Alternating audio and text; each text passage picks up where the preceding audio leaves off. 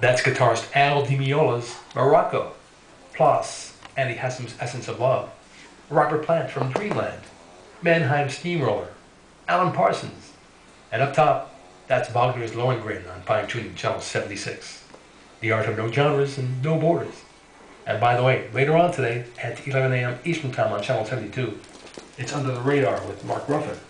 And this time, Mark plays some of the underappreciated artists from two major music centers, Chicago and Vancouver. You'll hear a Canadian group Metalwood and bassist Chris Tarry, as well as some of Chicago's local heroes like John Mauder, Reznik Agusic, Nicole Mitchell, and John McLean. It's happening at 11 a.m. Eastern Time today on Channel 72. That's Beyond Jazz, I XM. On the way now, it's REM Sidewinder Street, plus Fairport Convention, Salif Keita, and Douglas Spotted Eagle.